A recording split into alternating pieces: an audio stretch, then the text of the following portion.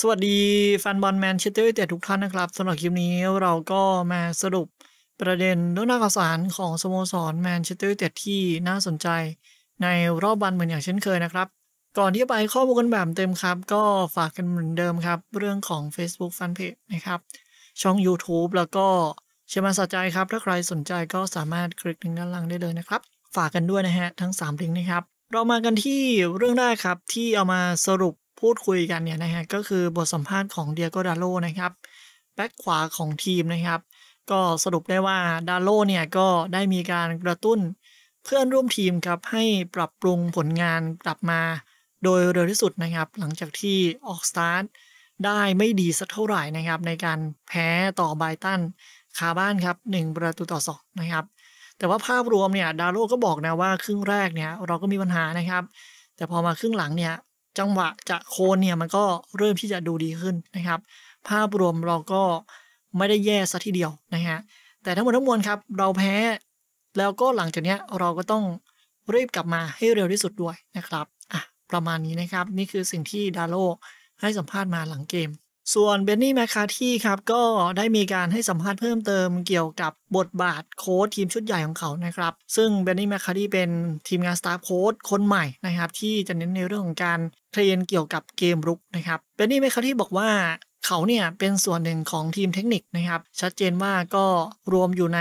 ทีมงานสตาฟโค้ชชุดใหญ่ของแมนยูนะครับ ดังนั้นเนี่ยก็จะมีส่วนร่วมกับผู้จัดการทีม แล้วก็ผู้ช่วยผู้จัดการทีมด้วยนะครับ เมื่อทีมฝึกซ้อมเนี่ยเขาก็จะเข้าไปใกล้ๆ แล้วก็ให้คำแนะนำช่วยเหลือทีมต่างๆนานานะครับ แล้วก็บทบาทเกี่ยวกับการ train แนวรุกของทีมด้วยนะครับ นั่นคือบทบาทสำคัญของเขา นะครับซึ่งแน่นอนครับว่าสิ่งที่เขาทำเนี่ยนะฮะมันก็มีการ train เกี่ยวกับการเคลื่อนที่นะครับการทำเกมรุกนะครับรวมถึงการจบสกอร์ต่างๆนะครับ ให้นักเตะทุกคนเนี่ยมีความเฉียบคมมากพอนะครับ ให้พวกเขาเนี่ยมีความพร้อม แล้วก็มีการทำประตูที่แบบต่อเนื่อง นั่นคือสิ่งที่เบนนี่เมคาที่เนี่ยมีการให้สัมภาษณ์นะครับ เกี่ยวกับบทบาทที่ชัดเจนของเจ้าตัวในตอนนี้นะครับอะก็ประมาณนี้นะฮะส่วนเรื่องต่อมาครับก็ เรามาดูมุมมองของแกเดเนวิลกันหน่อยนะครับเนวิลเนี่ยก็เป็นตำนานของแมนยูอีกคนหนึ่งนะครับ ที่ได้ออกมาวิพากษ์วิจารณ์หลังเกม หลังจากที่ผมเนี่ยก็ได้มีการนำบทวิเคราะห์หลังเกมของรอยคีนแล้วก็พอสโคให้เราฟังไปแล้ว รอบนี้เป็นของเนวิลกันบ้างเนวิลเนี่ยก็ออกมาตำหนิบอร์ดบริหารของแมนยูครับ ที่ไม่สนับสนุนกุนซืออย่างเอริกเทนฮากมากพอในช่วงตลาดรอบนี้ฮะหลังจากที่เปิดตัวในพิมพ์อังกฤษได้ไม่ค่อยดีสักเท่าไหร่นะครับ ซึ่งประเด็นเรื่องเนี้ยมันแยกออกมาเป็น 2 ประเด็นด้วยกันนะครับ ส่วนหนึ่งเนี่ยอาจจะมองว่าโอเค อาจจะไปโทษที่บอร์ดเลยนะครับ ก็คือบอร์ดทำงานช้านะครับ หรือว่าไม่ซื้อตัวตามที่เทนฮากต้องการ แต่ว่าหลักๆเนี่ยก็ต้องเข้าใจด้วยครับ อีกมุมมองหนึ่งเนี่ยมันก็มีให้มองเหมือนกันก็คือซีซั่นนี้นะครับหรือว่าซัมเมอร์เนี้ยบอร์ดเนี่ยให้สิทธิ์ขาด เรื่องของการเลือกนักเตะของเอริกเทนฮากครับ เพราะฉะนั้นเนี่ยบอร์ดเนี่ยก็ต้องทำตามเอริกเทนฮากเป็นอันดับแรก ถูกไหมครับ เอริกเทนฮากอยากได้นักเตะคนไหนนะฮะก็ไปทำตาม ซึ่งในดีลแต่ละดีลเนี่ยบอร์ดเนี่ยก็ทำตามทั้ง 3 ดีลมาแล้วนะครับก็คือมาร์ติเนซมาลาเซียแล้วก็เอริกเซนนะครับโดยที่ไม่ได้แบบมีการแบบนอกลู่นอกทางหรือว่าไปเซ็นมั่วซั่วเข้ามานะครับในช่วงซัมเมอร์นี้นะฮะมันมองได้ 2 มุมอย่างที่ผมบอกไปนะครับซึ่งในมุมของบอร์ดเนี่ยถ้าเกิดมองนะฮะก็ อยู่ที่เทนฮาร์กเลยครับ ถ้าเกิดเทนฮาร์กเขามีการเสนอรายชื่อหลายๆ รายชื่อเข้ามาให้ บอร์ดก็จะดำเนินการให้แต่ดูเหมือนว่าเทนฮาร์กเนี่ยยังจดจ่อกับดีลหรือว่านักเตะที่เป็นเป้าหมายเดิมๆอยู่นะฮะทำให้ประเด็นเรื่องเนี้ยมันก็อาจจะมีการเข้าใจได้ว่าบอร์ดทำงานช้าหรือว่าเสริมทัพให้เทนฮากไม่มากพอนะครับนี่คือสิ่งที่ผมพยายามอธิบายนะสองมุมนะฮะในมุมมองของเนวิลมองแบบนั้นก็ไม่ผิดครับ มองที่บอร์ดว่าทำงานไม่ดีก็ไม่ผิดนะฮะ อีกมุมหนึ่งก็คือต้องเข้าใจบอร์ดแล้วก็มองทางฝั่งเทนฮากด้วยบางทีเทนฮากเขาอาจจะไม่ได้เสนอรายชื่อมากพอให้กับบอร์ดไปยื่นซื้อก็ได้นะครับ อะโอเค แฟนผีคิดเห็นอย่างไรเกี่ยวกับเรื่องนี้ก็คอมเมนต์กันเข้ามาได้ ส่วนอีกเรื่องหนึ่งที่เนวิลมีการคอมเมนต์ครับก็คือเรื่องของมาร์โกอาร์เนาโตวิชนะฮะเนวิลเนี่ยเขาก็รู้สึกแปลกใจนะที่แมนยูเนี่ยไปมีข่าวเชื่อมโยงกับมาร์โกอาร์เนาโตวิชนะครับรู้สึกแปลกใจเป็นอย่างยิ่งนะครับ คือแมนยูเนี่ยเคยมีข่าวกับมาร์โกอาร์เนาโตวิชมานานแล้วนะครับ ในสมัยที่เจ้าตัวเนี่ยอยู่ในลีกอังกฤษนั่นแหละ แต่ว่าหลังๆเนี่ยข่าวมันก็เงียบไป แล้วก็อีกแถมทั้งเรื่องของเกี่ยวกับอายุนามของอนาโตวิดเนี่ยอายุก็เริ่มมากแล้วด้วย มันก็เกิดข้อสงสัยแหละ เรื่องของความแปลกใจด้วยว่าทำไมเทนฮากถึงได้มีการเจาะจงไปที่นักเตะรายนี้ หรือว่าแมนยูไปซื้อนักเตะรายนี้ คือมันก็มีคอมเมนต์หรือว่ามีแฟนบอลที่กลุ่มที่เห็นด้วยนะครับ แล้วก็ มีกลุ่มใหญ่อีกกลุ่มหนึ่งที่มองว่าดีลเนี้ยไม่น่าจะเป็นดีลที่ตอบโจทย์สำหรับแมนยูแล้วกันนะฮะ แต่ก็เชื่อกันว่าคือถ้าเกิดเทนฮาต้องการมันก็ต้องตามนั้นถูกไหมครับนะแล้วก็มันมีกระแสข่าวกันออกมาล่าสุดนะครับว่าทางแมนยูเนี่ยรอบแรกมีการยื่นเงินเข้าไปให้กับบรญญาใช่ไหมครับ แต่ว่าทางบรญญาก็บอกไปเป็นที่เรียบร้อย ซึ่งแมนยูก็ไม่ยอมแพ้นะครับ แล้วก็เตรียมที่จะปรับปรุงข้อเสนอในการซื้อตัวนักเตะรายนี้ มีการดันเรื่องของเม็ดเงินขึ้นไปอีกนะครับ ซึ่งเม็ดเงินรอบ2เนี่ยเชื่อกันว่าน่าจะเป็นเม็ดเงินที่ทำให้โบโลญญาต้นสังกัดของอาร์เนาโตวิชเนี่ยพอใจนะครับ ตามรายงานจากสกายอิตาเลียรายงานประมาณนี้ครับแมนยูจะมีการปรับปรุงข้อเสนอ แล้วก็ยื่นไปอีกรอบหนึ่งนะครับ ก็รอติดตามกันนะครับสำหรับเรื่องของมาร์โกอาร์เนาโตวิชแล้วก็มีเพิ่มเติมเล็กน้อยนะ มีรายงานจากฟลอเรียนเพลทเทนเบิร์กนะครับ นักข่าวคนดังของสกายสปอร์ตเนี่ยมีการ confirm นะครับว่า เทนฮากเนี่ยต้องการมาร์โกอาร์เนาโตวิชแบบร้อยเปอร์เซ็นต์นะครับก็คือมีความต้องการมันเป็นความต้องการของเทนฮากด้วยนะครับ ซึ่งมันก็ด้วยเหตุนี้แหละครับทำให้แมนยูเนี่ยจึงต้องมีการเพิ่มข้อเสนอรอบที่ 2 ในการซื้อนักเตะรายนี้นะฮะเอออันนี้ก็ตอนแรกๆเนี่ยผมมองว่าเป็นข่าว gossip นะไปมาเนี่ยเป็นข่าวที่ดูที่จะจริงจังเป็นพิเศษเลยนะครับสำหรับในรายของมาร์โกอาร์เนาโตวิชนะครับ ก็แฟนผีคิดเห็นอย่างไรก็คอมเมนต์กันเข้ามาได้แล้วกันนะครับ ส่วนนักเตะหนึ่งรายครับที่กำลังมีกระแสข่าวร้อนแรงเหมือนกันครับ ก็คืออาเดรียงราบิโอต์นะครับมิดฟิลด์ของทางยูเวนตุสนะฮะเป็นเป้าหมายของแมนยูตั้งแต่ตอนที่ราบิโอต์เนี่ยอยู่กับทางเปแอสเชแล้วนะครับ ก่อนที่จะย้ายมาร่วมทีมยูเวนตุสอีก แต่ว่าตอนนั้นเนี่ยเหมือนกับแมนยูเราเนี่ยก็ไม่ได้ให้ความสนใจซะจริงจังขนาดนั้นนะครับ แต่ว่ารอบเนี้ยดูที่จะเอาจริงเอาจังแหละเพราะว่าหลังจากจบเกมเนี่ยนะครับ เราได้เห็นฟอร์มมิดฟิลด์ตัวกลางของแมนยูณปัจจุบันแล้วใช่ไหมครับว่า มีผลงานอย่างไรนะครับ แล้วก็บอร์ดที่มารับชมในเกมในสนามเนี่ยนะครับรวมถึงเจ้าของทีมมารับชมในสนามเนี่ยนะฮะก็น่าจะเห็นได้อย่างชัดเจนแล้วว่ามันมีปัญหาจริง มันก็เลยต้องมีการเร่งเครื่องหน่อยนะครับ ซึ่งรายงานตอนแรกเนี่ยออกมาจาก The Athletic นะครับ มีการระบุว่าแมนยูเนี่ยกำลังดำเนินการเพื่อคว้าตัวอาเดรียงราบิโอต์นะครับกองกลางของทางยูเวนตุสนะครับ ซึ่งแมนยูเนี่ยกำลังดำเนินการกันอยู่ แล้วก็มีการพูดคุยกันอยู่นี่คือกระแสข่าวตอนแรกนะ แล้วก็ว่ากันว่าคือแมนยูเนี่ยนะฮะถ้าเกิดจะมีการดำเนินการนะเขาเนี่ยแมนยูเนี่ยต้องไม่สนใจเกี่ยวกับความคืบหน้าในดีลของเฟรงกี้เดอยองนะครับหรือความชัดเจนเกี่ยวกับดีลของเฟรงกี้เดอยอง คุณจะต้องแยกกันนะ คือประมาณว่าแมนยูเนี่ยจะต้องแยกดีลกันนะครับ ไม่ใช่แบบว่าจะมาซื้อราบิโอต์ แต่ว่าต้องรอคำตอบเฟรงกี้เดอยองก่อนนะฮะ ซึ่งถ้าเกิดเฟรงกี้เดอยองยังไม่ได้รับคำตอบ แล้วมันลากไปจนถึงช่วงปิดตลาดเนี่ยนะฮะ แล้วตอนนั้นเนี่ยคอยมาสนใจราบิโอในช่วงนั้นเนี่ย มันก็อาจจะไม่ทันก็ได้นะครับ นักเตะอาจจะเลือกย้ายไปอยู่ทีมอื่นก็ได้ หรือมีการตัดสินใจว่าอยู่กับทางยูเว่ต่อไปก็ได้นะครับ มันช้าเกินไป เพราะฉะนั้นถ้าเกิดแมนยูตัดสินใจได้ แล้วก็เห็นว่ามันมีช่องทางแมนยูต้องดำเนินการเลย โดยที่ไม่ต้องสนใจดิวของเฟงกี้ได้ยองว่าจะได้รับคำตอบอย่างไรนะฮะเออจะช้าไม่ได้แล้วกันนะครับ เข้าใจแบบง่ายๆประมาณนี้นะฮะ นี่คือรายงานจากทาง The Athletic นะที่มีการระบุกันออกมา ทีนี้มันก็มีรายงานอีกหลายกระแสนะครับบอกมาจาก MEN นะครับสื่อท้องถิ่นของเมืองแมนเชสเตอร์นะครับแล้วก็มี Sky Italia นะครับมีการระบุกันออกมาครับว่าตอนนี้นะครับยูเวนตุสแล้วก็แมนยูเนี่ยมีการบรรลุข้อตกลงคว้าตัวอาเดรียงราบิโอต์ไปเล่นในถิ่นโอลด์แทรฟฟอร์ดได้แล้วเป็นที่เรียบร้อยนะครับนะนี่คือรายงานกันออกมาแล้วก็ว่ากันว่าแมนยูเนี่ยอยู่ในขั้นตอนที่เจรจารายละเอียดส่วนตัวกับทางเอเย่นต์หรือว่าคุณแม่ของทางราบิโอต์นะครับที่ ทำหน้าที่เป็นเอเย่นต์ของลูกชายนั่นแหละนะครับนี่คือรายงานจากหลาย ๆ กระแสที่มีการเล่นข่าวกันออกมานะ ได้ไม่ได้ก็อีกเรื่องหนึ่งนั่นแหละนะฮะแต่ที่แน่นอนเนี่ยผมว่ามันก็ดีนะ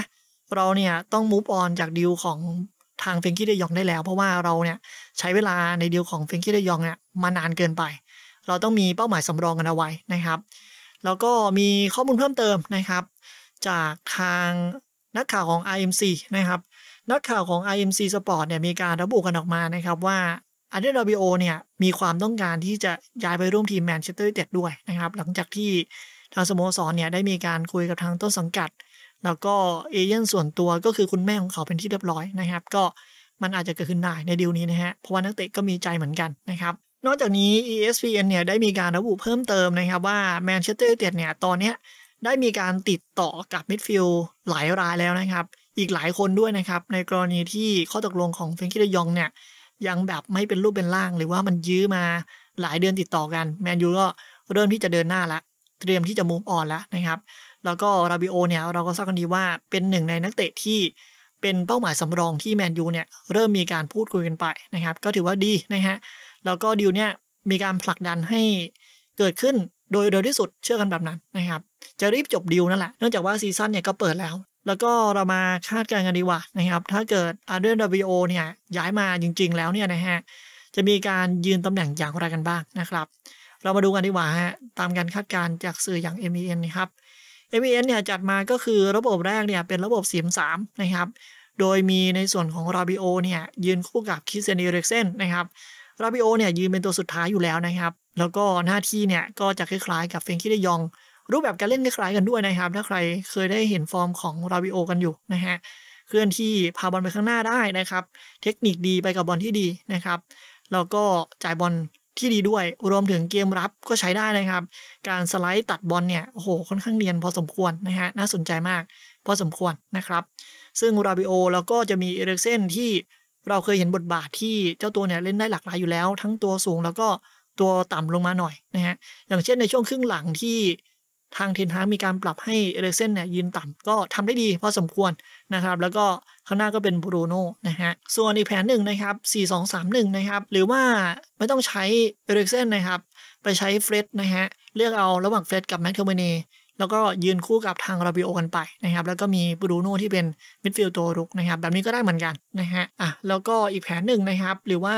จัดไปเลยนะครับราบิโอต์ยืนตัวเดียวพอนะครับ แต่ว่าจะเจองานยากหน่อยนะครับ ก็ผมว่าได้นะ ซึ่งทางเอเดริกเทนฮากเนี่ยก็พร้อมที่จะทำในระบบแบบนี้นะครับแต่ว่าคุณต้องชัวร์ก่อนไงว่าราบิโอต์มาแล้วเนี่ยราบิโอต์เนี่ยจะรับบทบาทแบบนี้ได้ แล้วก็ราบิโอต์เนี่ยคุณภาพเขาเนี่ยยืนระยะตลอดทั้งเกมได้ มันก็ถือว่าน่าสนใจเหมือนกัน อัดไปเลยครับพวกเอริกเซนบรูโน่ยืนสูงไปนะครับ แล้วก็ราบิโอต์เนี่ยก็ยืนตัวสุดท้ายนะครับอ่าแล้วก็ด้านข้างก็จะมีแรดฟอร์ดเจดอนซานโชแล้วก็คริสเตียโนโรนัลโดเป็นศูนย์หน้าตัวเป้านะครับ โอเค ประมาณนี้นะครับ นี่คือการคาดการณ์แล้วก็เรื่องราวของอาเดรียงราบิโอต์นะครับ ก็ติดตามดูกันต่อไปนะครับ ว่าจะมีการปิดดีลอะไรอย่างไรกันบ้างตอนนี้ ความคืบหน้าก็ไปไกลพอสมควรแล้วนะครับ และนักเตะอีกหนึ่งคนครับที่มีข่าวเชื่อมโยงนะครับ ในตำแหน่งมิดฟิลด์ตัวกลางนี่แหละนะฮะ แต่ว่ารายนี้เป็นสายลุยนะครับ เป็นสายปะทะเลยนะครับ ตัวรับจ๋าไปเลยก็คือกุยโดโรดริเกซนะครับ เป็นมิดฟิลด์พันธุ์ดุจากเรอัลเบติสนะครับ ซึ่งมีรายงานออกมาจาก AS นะครับ สื่อดังของสเปนนะฮะ มีการระบุว่าทางแมนเชสเตอร์ยูไนเต็ดเนี่ยกำลังให้ความสนใจ มีการติดต่อนักเตะรายนี้ครับ ซึ่งก็มองได้ว่าเป็นเป้าหมายเพิ่มเติม เหมือนเหมือนกับในรายของอาเดรียงราบิโอนั่นเองนะครับ ราคาค่าตัวเนี่ยเชื่อกันว่าน่าจะประมาณไม่เกิน 30 ล้านยูโรนะครับ ไม่แพงจนเกินไปนะฮะภาพรวมก็คืออย่างที่ผมบอกไปครับว่าเป็นสไตล์แบบดุดันตัวรับไปเลยนะครับประทับแบบหนักนะครับ แล้วก็รูปร่างรูปทรงเนี่ยนะครับ ดูแข็งแกร่ง ดูแข็งแรงนะฮะโอเค อันนี้ก็เป็นอีกหนึ่งข่าว gossip ที่มีการเล่นข่าวกันออกมา เรื่องของกุยโด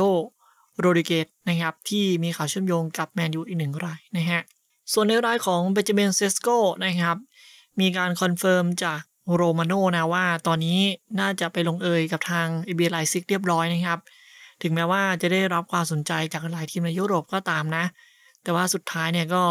ทำดีลสลับดีลกันในเครือกันนี่แหละนะฮะในเครือเรดบูลนั่นแหละนะครับก็ไม่ผิดคาดนะครับเพราะว่าจริงๆแล้วมันก็มีบทวิเคราะห์ออกมาก่อนหน้านั้นแล้วนะครับว่า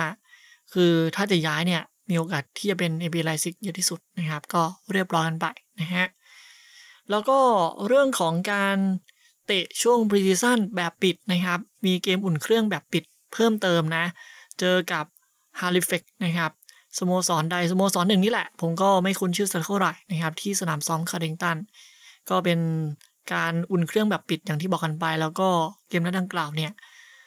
นักเตะที่ไม่ค่อยได้รับโอกาส นะครับที่เป็นตัวสำรองนะครับ ก็จะได้รับโอกาสในเกมวันนี้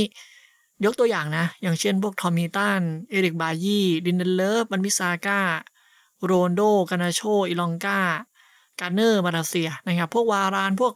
อีกหลายคนนะครับ ที่ไม่มีรายชื่อด้วย แล้วก็เป็นตัวสำรองเป็นส่วนใหญ่ จากเกมก่อนเนี่ยก็ได้รับโอกาสในเกมวันนี้นะครับ จบเกมเนี่ยก็